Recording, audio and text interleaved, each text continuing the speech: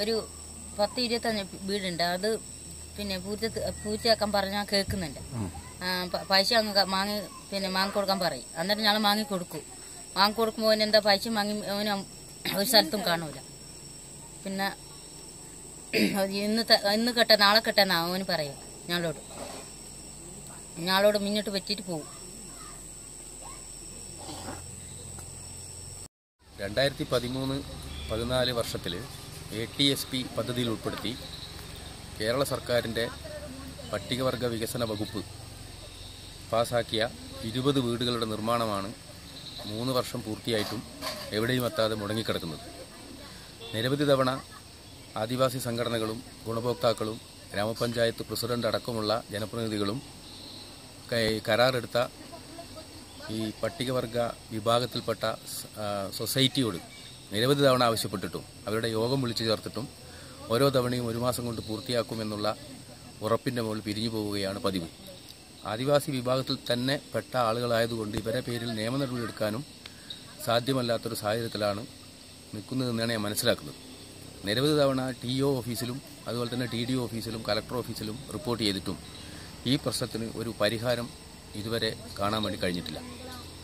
ഇതിന്റെ പ്രസിഡന്റും സെക്രട്ടറിയും മുങ്ങി മുങ്ങി നടക്കുകയാണ്. ഓരോ പ്രാവശ്യവും വിളിക്കുമ്പോൾ ചിലപ്പോൾ ഫോൺ എടുക്കൂല.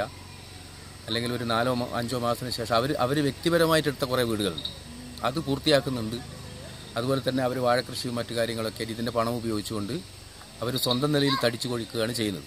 ആദിവാസി വിഭാഗത്തിൽപ്പെട്ട അക്ഷരജ്ഞാനമുള്ള വിദ്യാഭ്യാസമുള്ള ആളുകളെയൊക്കെ കൂട്ടിച്ചേർത്തുകൊണ്ട് രൂപീകരിച്ച ഈ സൊസൈറ്റി അതിന്റെ തലപ്പത്തുള്ളവർ അവരെ സമൂഹ അവരെ സമുദായത്തിൽ തന്നെ പെട്ട പാവപ്പെട്ട പാവങ്ങളെ മറ്റ് സമുദായത്തിൽപ്പെട്ട ആളുകൾ ചൂഷണം ചെയ്യുന്നതിനേക്കാളും വലിയ രീതിയിൽ ചൂഷണം ചെയ്യുന്ന ഒരു സാഹചര്യമാണ് ഇപ്പോൾ ഈ പതിനാല് പതിനഞ്ച് വാർഡുകളിലായിട്ട് എടുക്കുന്ന ഈ ഇരുപത് വീടിന്റെ അവസ്ഥ നിലനിൽക്കുന്നത്. ഇതിന് തൊട്ടടുത്ത കേളം കോളനിയിൽ കഴിഞ്ഞ വർഷം പത്ത് പത്ത് വയസ്സുള്ള ഒരു പെൺകുട്ടി പനി ബാധിച്ച് മരിച്ച് ഇതേപോലെ വളരെ ചെറിയ ഒരു കൂരയിലായിരുന്നു അവരും താമസിക്കുന്നത്. അന്ന് ജില്ലാ ഭരണകൂടം ഒന്നടങ്കം എത്തിച്ചേർന്ന്. ഇതിന് പരിഹാരമുണ്ടാക്കുമെന്ന് പറഞ്ഞു പോയതല്ലാതെ നാളിതുവരെയായി ആ വീടും പൂർത്തീകരിച്ചിട്ടില്ല.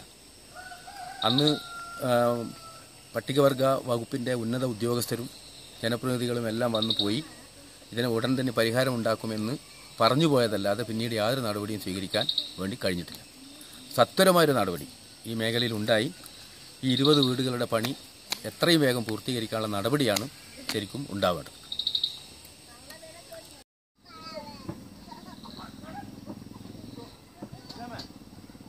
ആ ആ.